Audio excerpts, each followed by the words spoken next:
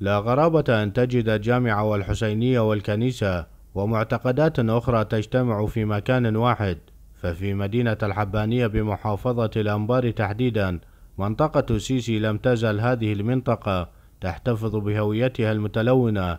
بألوان الطيف العراقي. هذه المنطقة الطائفة المسيحية أغلب سكنة الطائفة المسيحية المتألفة من آه، ثلاثة كنائس آه، بكل أطياف من الأرمن والكاثوليك آه، والكلدان الموجودين في هذه.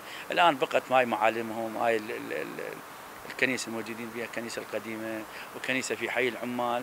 إضافة إلى الكنائس يوجد حسينيات في الحي المدني حسينيات اثنين وفي الحي العمال موجود حسينية.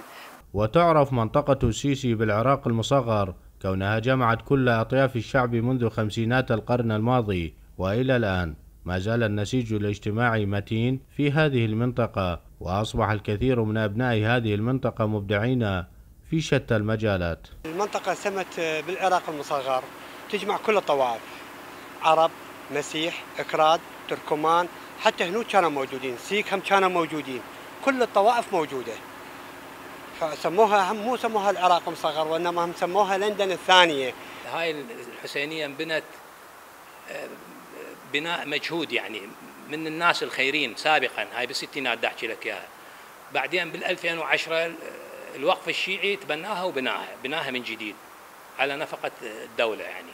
السيسي تسجل حضورا دائميا للتعايش المجتمعي عبر خليط متجانس. ضم مختلف الأديان والأعراق لتبقى رسالة مهمة للأجيال القادمة. من منطقة السيسي أحمد الحمداني.